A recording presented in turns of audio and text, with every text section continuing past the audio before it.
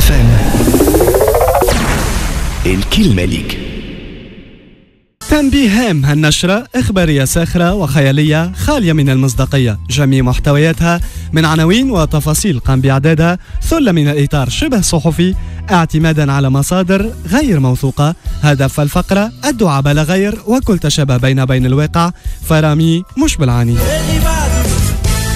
ضربة البداية بخبر عاجل ثلاثة طائرات من سلاح الجو التونسي تقصف مقر قيادة الموساد بتل أبيب ردا على استهداف المواطن التونسي.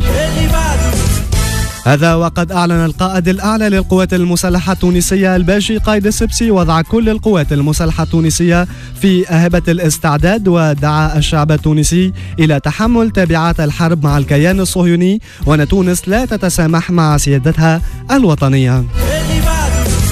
ومن ناحية أخرى قررت مصر والجزائر وضع قواتها المسلحة في حالة تأهب قصوى وحماية الأراضي التونسية منفعلة بذلك اتفاقية الدفاع العربي المشترك. هذا وقد رصدت البوارج الحربية المصرية في اتجاه للمياه الإقليمية التونسية فيما حلق السلاح الجوي الجزائري بكثافة فوق المجال الجوي التونسي.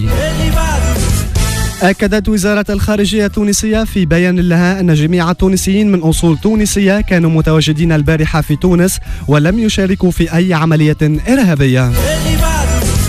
وعلى عكس ما روجت له وزارة الخارجية وردت لوكالة رمي للأنباء معلومات من داخل المخابرات التركية تفيد أن منفذ عملية اغتيال السفير الروسي من أب تركي وأم تونسية. صرح أخصائي في تشريح بمستشفى شارنيكول لمراسل نشر في العطروس أن السفير الروسي قد توفي بفعل سكتة قلبية. وتصريح مدوي لوزير العدل السابق نور الدين البحيري الذي قال بالحرف الواحد الموساد إشاعة ولشد موساد يجيبوا لي. مش